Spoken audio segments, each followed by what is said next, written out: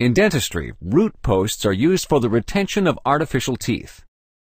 If a tooth has been destroyed by a deep cavity so that there's nothing left of the tooth's original crown, then it won't be possible to fit that tooth with a crown because the crown wouldn't have any hold.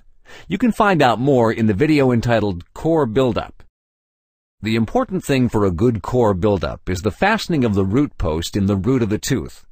This requires a good root canal treatment, you can find out more in the video entitled Root Canal Treatment. And it also requires a sufficiently deep excavation. You can find out more in the video by the same title. Root posts are divided into pre-manufactured posts and posts that are custom made by the dental technician. On the left, you see a pre-manufactured glass fiber post. The core buildup is on the top, the excavated tooth core is in the middle, and the pre-manufactured glass fiber post is on the bottom. On the right, you see a custom-made metal post. Once again, the tooth core is on the top, the excavated tooth core is in the middle, and the custom-made metal post is on the bottom. Nowadays, custom-made posts are rarely used, with the exception of root post caps.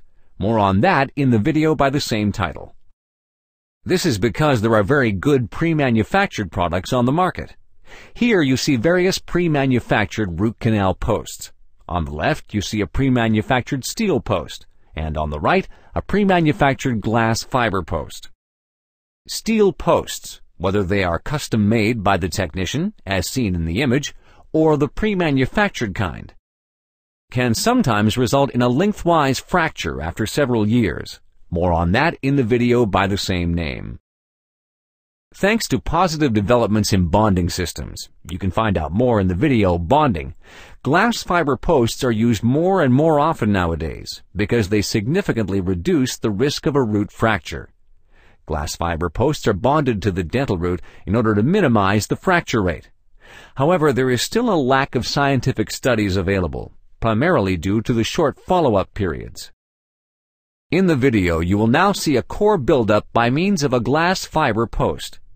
First, the tooth core is shown with the old amalgam filling being removed. The tooth is surrounded by a cofferdam, that's the blue membrane. The dark areas below the amalgam filling are either amalgam discoloration or cavities. The caries are removed, and now the tooth core is built up. In order to build up the tooth core, a retention must be created. This is why a glass fiber post is fastened in the rear dental root. You can see how the dental root is first excavated. The drill used corresponds to the exact diameter of the glass fiber post. Now the drill hole is cleaned and then seared. Searing enlarges the bonding area. You can find out more on that in the video entitled Acid Searing. After drying and treating the drill hole with various other chemicals, the bonding agent is inserted together with the glass fiber post. Everything hardens for a few minutes, after which the protruding remains are removed, and the rest of the core is built up. The plaster impression shows the core buildup, here in black, and the dental bridge is stable again.